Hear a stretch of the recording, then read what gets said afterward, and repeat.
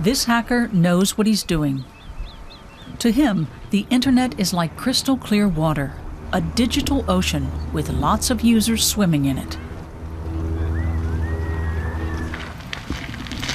No matter where they are, he can spot them. He can trace the slightest signals and pick them up on his laptop. But don't worry, Götz Schartner is one of the good guys.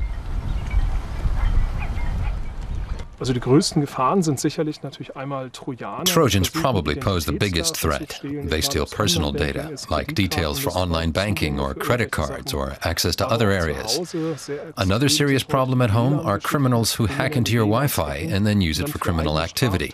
This can make you the focus of police investigations, and sometimes you may even be held liable for damages. Mr. Hopping, is this your mobile phone number?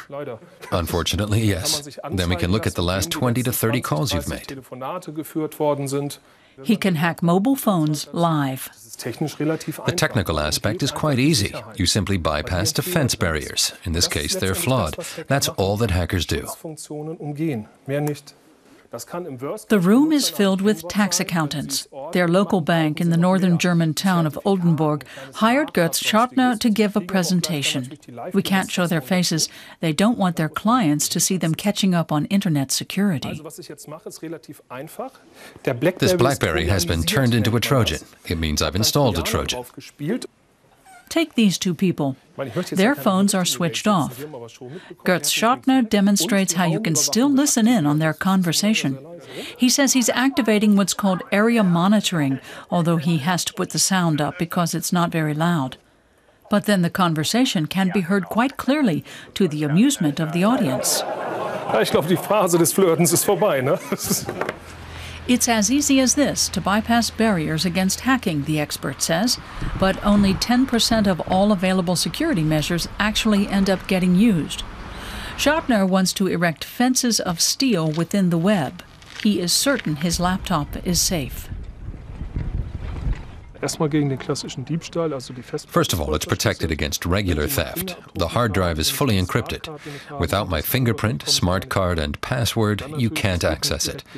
And I don't surf directly, but virtually, so malware can't be installed on my computer. And I monitor all relevant files for possible changes that someone might want to make. You surf in a virtual way? What does that mean? It means I've installed virtualization software and actually use a second computer to surf, which I've installed on this one. And now I'll try to influence this computer. Sometimes it doesn't work. Let's put it to the test. He calls himself a penetration tester. Please smile into the camera, the one in the notebook. Schartner uses a virus disguised as an email attachment to switch the camera on. This tax accountant has now been exposed.